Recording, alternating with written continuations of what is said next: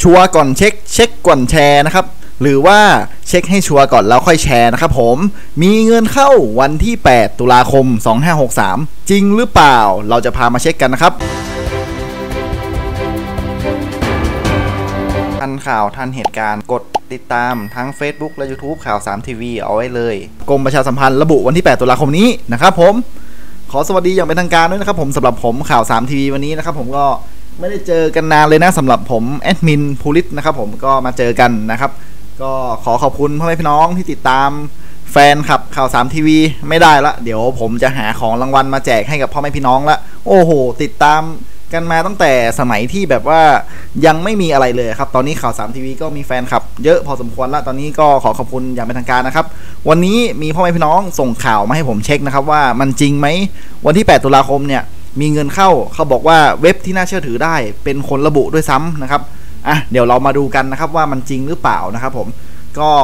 มาผมขอถามคำถามก่อนสั้น ๆ นะครับ เงินพิเศษที่รัฐบาลให้เนี่ยคนละ 500 3 เดือนพันห้าเนี่ยมันพอใช้ไหมนะครับ ถ้าพอใช้ช่วยบอกว่าพอใช้นะครับว่าใช้อะไรบ้างนะครับ ถ้าไม่พอใช้ก็บอกว่าไม่พอใช้เลยขอเพิ่มได้ไหมอะไรประมาณนี้นะครับ ก็เม้นมานะครับเผื่อคนในรัฐบาลเขาผ่านมาเห็นนะครับเขาจะได้มาหยิบยกคอมเมนต์ตรงเนี้ยไปเข้าที่ประชุมบ้างนะครับเผื่อเขาผ่านมาเห็นนะครับเผื่อฟุกนะอะมาดูกันนะครับผมเดี๋ยววันนี้ผมขอออธิบายก่อนนะครับว่าตรงเนี้ยเว็บสำนักประชาสัมพันธ์เขตหนึ่งนะครับกรมประชาสัมพันธ์นะครับ อันนี้ก็เป็นเว็บน่าเชื่อถือได้ระดับหนึ่งนะครับ แต่มันมีประเด็นอยู่ที่ว่าเขามีรูปที่ออกมาครับคือวันที่ 8 ตุลานะครับ จะมีเงินเข้าจริงไหม เดี๋ยวเราจะมาตามไล่ลำดับทีละข้อนะครับ อ่ามาดูข้อแรกก่อนนะครับ ดูนะครับผม ก็วันที่1เนี่ยก็คือจะมีเงินเข้าปกติอยู่แล้ว 200 300 นะครับ แต่เดือนเนี้ยตุลาพฤศจิกาธันวาเนี่ยมันจะมีเงินพิเศษนะครับผม แต่ดูอีกทีสินะครับไอทางเพจเนี่ยสำนักประชาสัมพันธ์เขต 1กรมประชาสัมพันธ์เนี่ยเขาก็มีการโพสต์นะว่าเป็นวันที่ 1 2 3 4 5เนี่ยเป็นข้อๆมานะครับ ก็หลักๆ ผมก็จะมองอยู่นะครับ ผมว่ามันเข้าวันที่อะไรนะครับ แต่ผมวงกลมๆสีแดงๆไว้เนี่ยเห็นไหมเขาบอกว่าเดือนตุลาคมจ่ายวันที่ 8 ของเดือนนะครับอ่านะครับ แต่เขามาอัปเดตตรงที่คอมเมนต์นะครับผมเขาบอกว่าแอดมินได้รับข่าวล่าสุดมีการขยับเป็นไม่เกินวันที่ 15 นะครับผมผมให้เลยเต็มที่ไม่เกินวันที่ 16 เข้าแน่นอนนะครับ ก็คือใครที่ว่าแชร์วันที่ 8 เงินเข้านะครับ ผมก็ขอให้อ่าระมัดระวังหน่อยนะครับ ผมเพราะว่าอย่าไปตั้งความหวังตรงนี้เยอะนะครับเพราะว่าแอดมินเขาตามมาอัป อัปเดตนะครับในคอมเมนต์แล้วนะครับผมก็คืออยากจะให้ทุกคนน่ะอัปเดตข่าวสารบ้างนะครับ ไม่ใช่ว่าฟังแต่ข่าวเก่า อย่างนั้นอย่างนี้เป็นอะไรโอ้โห ผมก็เป็นห่วงเนาะเพราะว่าก็ตามมานะอืมขอย้ำนะครับผมว่าเงินเข้าบัตรสวัสดิการแห่งรัฐน่ะเพิ่มอีกห้าร้อยอะ ก็คือห้าร้อยของเดือนตุลาเนี่ย จะไม่เกินภายในวันที่สิบห้านะครับ คือชัวร์แล้วนะครับ อันนี้ผมไปเช็คมาแล้วนะ แต่วันที่ 8 นั่นน่ะเขาอาจจะมีการผิดพลาดหรือว่าเขาอาจจะได้ข่าวมาว่าเริ่มโอนตั้งแต่วันที่ 8 เป็นต้นไป เพราะว่าวันที่ 15 อาจจะโอนไม่หมดเพราะว่าคนมันเยอะอะไรประมาณนี้ก็ว่ากันไปนะเขาอาจจะเริ่มโอนตั้งแต่วันที่ 8 ก็ได้นะครับ แต่ที่แน่ๆก็คือรอนะครับไม่เกินวันที่ 15-16 เนี่ยเงินเข้าแน่นอนนะครับ เพราะว่ามีหลายสำนักเขา confirm มาแล้ว ไม่ว่าจะเป็นเว็บข่าวใหญ่ ๆ เจ้าหน้าที่หรือว่าอะไรของหน่วยรัฐเขาก็กระซิบมานะครับผม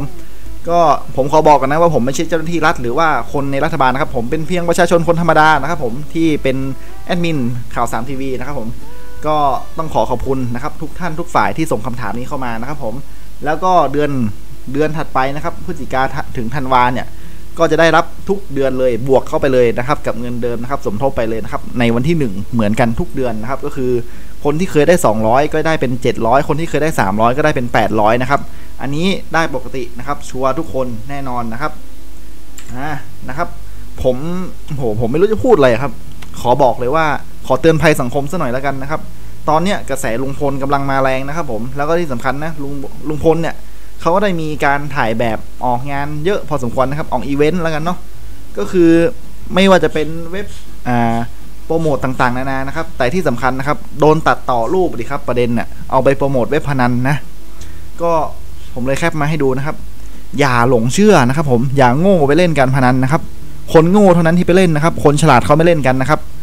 หมดไปเท่าไหร่แล้วกับคำว่าการพนันหมดไปเท่าไหร่แล้วกับคำว่าของต้องมีหมดเท่าไหร่แล้วกับคำว่าเดี๋ยวเดี๋ยวเฮียพารวยนะครับ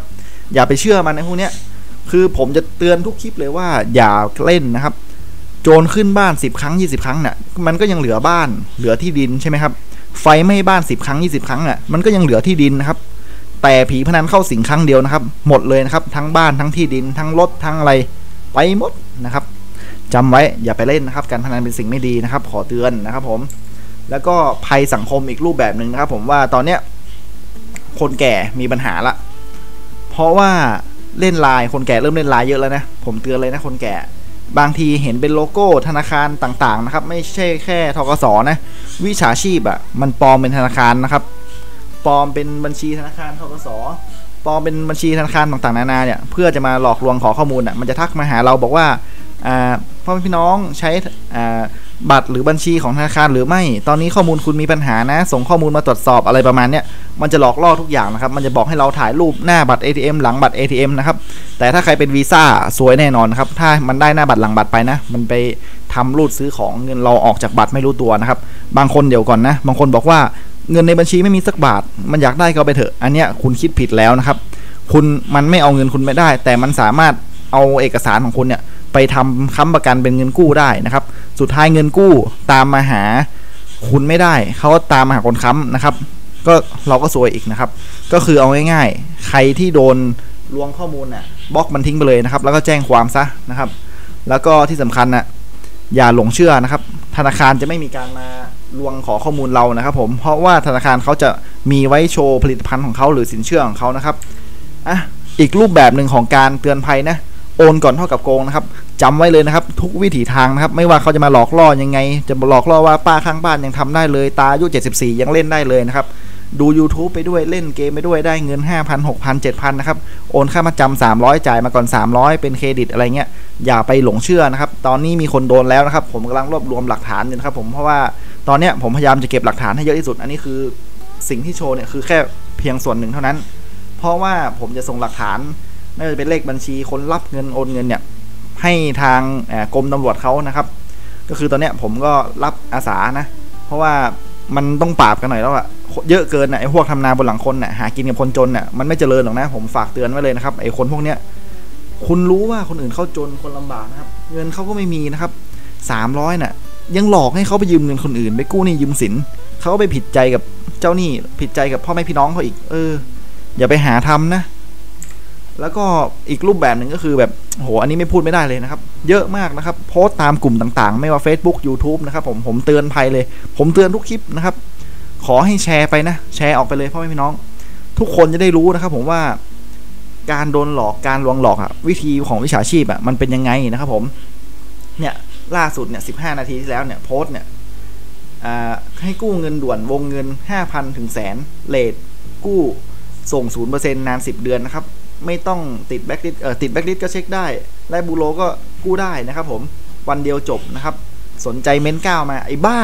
ธนาคารเขายังทำไม่ได้เลยนะครับ คุณลองคิดดูนะครับ เออนะครับ กู้เงินหมื่นผ่อน 500 ต่อเดือนนะครับ ดอกเบี้ยนาน 0-10%นะครับ แต่เดี๋ยวก่อนนะครับ ถ้าแอดไลน์ไปปุ๊บ ไม่ชวนเล่นเกมแคนดี้บาคาร่าหวยบอลหรือว่าหลอกโอนค่ามาจำขอค่าเอกสาร 300 400 แล้วจะทำเรื่องภายใน 30 นาทีนี้จะได้รับเงินเลยอะไรประมาณเนี้ยอย่าไปหลงเชื่อโอนก่อนนะครับ เพราะว่าโดนมาแล้วเยอะนะครับ ผมจึงต้องออกมาเตือนทุกคลิปแบบนี้นะครับผมขอย้ำว่าอย่าหลงเชื่อนะครับผมไอ้พวกเนี้ยหากินกับคนจนทำนาบนหลังคนนะผมโคตรเบื่อเลยโคตรเกลียดเลยคนพวกเนี้ย คือแบบว่าผมทำอะไรไม่ได้นะครับ นอกจากจะรวบรวมหลักฐานไว้ แล้วก็แจ้งเตือนนะครับ ประชาชนนะครับประชาสัมพันธ์ในช่องข่าว3ทีวีเนี่ยให้เป็นสื่อกลางในการแฉคนโกงนะครับจำไว้ว่าเราอย่าโอนก่อนนะครับ ถ้าเราโอนก่อนเท่ากับโกงครับมันจะเก็บค่าเอกสารหรือว่าอะไรก็ช่างนะครับ ถ้ามันขอค่าเอกสาร 300 บอกให้มันหักไปเลย แล้วโอนส่วนที่เหลือมานะครับ คนจริงเขาต้องแบบนี้ ไม่ใช่ว่าให้เราโอนไปก่อนนะครับ โอนไปก่อนปุ๊บ มันก็หายเข้าขีบเมฆไปนะครับ อันนี้อันตรายนะครับ อย่าไปหลงเชื่อ แล้วก็ที่สำคัญนะครับอยากกู้เงินผมแนะนำว่าไปติดต่อธนาคารออมสินกรุงไทยทกสธนาคารของพวกรัฐดีกว่านะครับออมสินก็เป็นตัวอย่างที่ดีนะผมก็หยิบยกมาเนี่ยก็คือรอบแรกโควิดใช่ไหมเขาให้กู้หมื่นหนึ่งหมื่นหนึ่งก็เต็มเต็มไปละเต็มเครดิตเข้าไปรอบ 2 มาใหม่นะครับห้าหมื่นนะครับผมก็ทำคลิปว่าให้ไปกู้ออมสินซะนะครับกู้ยังไงให้ผ่านศึกษา 5 นาทีได้ 5 0,000 ละไป ลองไปศึกษาคลิปนี้คลิปที่ผมเอาลงให้เนี่ย ลองไปดูนะครับ มีผมสอนได้หมดแล้วนะครับ การกู้เงินการทำอะไรยังไงเครดิตบูโรเป็นยังไงเช็คประวัติอะไรยังไง ผมสอนหมดทุกอย่างในช่องข่าว3ทีวีนะครับผมช่องเนี้ยลงเพื่อพ่อแม่พี่น้องประชาชนนะครับ เป็นการช่วยเหลือพ่อแม่พี่น้องประชาชนทุกท่านนะครับ ให้ทุกคนนะครับมีต้นทุนชีวิตนะครับดำเนินชีวิตต่อไปนะครับผมคนเราเกิดมาทั้งทีต้องสู้นะครับ อย่าให้มันเสียชาติเกิดนะครับ เกิดเป็นคนจนเนี่ยมันแสนจะสุขสบายที่สุดแล้วนะครับ ทำไมหรอครับ รู้ไหมว่าทำไม ผมก็เกิดมาจากครอบครัวที่คนจนๆนะ มันทำให้ผมเรียนรู้ชีวิตนะครับทำให้สู้ชีวิตทำให้รู้จักความลำบากนะครับ ไปไหนมาไหนเนี่ย ไปเจอที่ตกลำบากเนี่ย ผมก็สบายเพราะว่าชีวิตผมเคยลำบากมาก่อนแล้ว ผมจำเป็นไม่ต้องจำเป็นต้องปรับตัวอะไรเลยนะครับ ถ้าไปไหนมาไหนในที่สบายหรือว่าได้ดีไปเงี้ยมันก็โอเคไป แต่ถ้าไปเจอสิ่งที่ไม่ดีเงี้ยเราก็เคยเจอมาก่อนแล้ว เราปรับตัวได้ เราไม่แคร์นะครับผม ก็ฝากไว้ให้คิดที่สำคัญนะครับ ผมอยากให้ทุกคนมีงานมีการทำนะครับ ก็คือเตือนไว้เลยนะครับ อย่ารอแต่เงินรัฐบาลนะครับ วันไหนวันหนึ่งไม่มีรัฐบาลเราจะทํำยังไงนะครับ ถ้าเราไม่มีเงินไม่มีงานทำนะครับ ให้เราไปหางานทำนะครับ สู้ชีวิตไปด้วยกันนะครับ ผมไม่มีงานทำเดี๋ยวผมจะหาอาชีพใหม่ ๆ ออกมาแนะนำให้นะครับสำหรับคนที่อยากเห็นหน้าข่าว3ทีวีนะ ได้ยินแต่เสียงพูด มีการมาบอกแซะผมแน่ๆบอกว่าอุ้ยกินอะไรเข้าไปพูดเก่งจังอะไรประมาณเนี้ยเดี๋ยวผมก็จะเปิดตัวเร็วๆนี้แหละนะครับ รอติดตามได้เลยนะครับ ผม ถ้าใครอยากเห็นหน้าผมก็กด 1 กด 2 มาแล้วกันนะครับ ก็เม้นมานะ ก็ไม่รู้ว่าใครจะฟังถึงตอนนี้ไหมนะครับ ถ้าฟังถึงตอนนี้ก็โอ้โหขอบคุณมากนะครับ ผมก็เป็นคนชอบขี้โม้แบบนี้แหละครับ แต่เรื่องข่าวสารเนี่ยเป็นเรื่องจริงนะนะครับ ก็พูดคุยกันนะครับ ปรึกษาแนะนำกันได้นะครับ ใต้คอมเมนต์เลยนะครับ สอบถามเข้ามาใต้คลิปนี้เลยนะครับ ถ้ามีอะไรสงสัยนะครับ แนะนำว่าให้เม้น เดี๋ยวข่าวสามทีวีไปอ่านอ่านปุ๊บ จะจับคอมเมนต์มาทำเป็นคลิปต่อไปนะครับยิ่งถามเยอะยิ่งดีนะครับ ชอบนะครับ จะรวมคำถามแล้วมาตอบในคลิป แล้วทำเป็นคลิปถัดไปเลยนะครับผมที่สำคัญนะครับ ฝากกดติดตามไว้เลยนะครับ ถ้าไม่อยากพลาดสิทธิโอกาสต่างๆนะครับ ข่าว3ทีวีของเราเนี่ย ก็จะนำเสนอสื่อเป็นสื่อกลางให้กับพ่อแม่พี่น้องประชาชนคนจนนะครับ ก็ต้องขอขอบคุณทุกท่านนะครับ ที่เข้ามารับชมข่าว3ทีวีอย่าลืมกดติดตามไว้เลยนะครับ ไม่ว่าจะเป็น YouTube Facebook นะครับของข่าว3ทีวีเราจะอัปเดตข่าวสารตลอดเวลานะครับ ข่าวสารตลอดเวลานะครับ เพราะว่าอยากให้พ่อแม่พี่น้องทันข่าวเข้าถึงสิทธิ์นะครับ ไม่ว่าจะเป็นคนจนคนแก่ผู้พิการเด็กแรกเกิดชาวนาการกระตุ้นเศรษฐกิจเงินต่างๆ นานานะครับ ก็อยากบอกว่า วันเนี้ยม้ามันจะวิ่งเร็วแค่ไหนอะสุดท้ายมันก็ต้องแพ้ลาอยู่ดีนะครับผมเพราะว่าลาไปก่อนแล้วพบกันใหม่ในคลิปหน้า สวัสดีครับ อย่าลืมกดเพิ่มเพื่อนในไลน์เพื่อพูดคุยกับข่าว3ทีวีไม่ว่าจะเป็นข่าวสารสวัสดิการแห่งรัฐ เงินอุดหนุนเด็ก ผู้พิการ เงินเกษตรกร หรือมาตรการต่างๆ ที่รัฐบาลอัปเดต และช่วยเหลือประชาชน หรือติดต่อโฆษณากับข่าว3ทีวีได้แล้ว ที่ไลน์แอดสามารถสแกน QR Code ข้างหน้าคลิปนี้ได้เลย หรือจะกดที่ลิงก์ข่าว3ทีวีหรือ จะค้นหาเพื่อนแล้วพิมพ์คาว่า782 eflul แล้วเพิ่มเพื่อน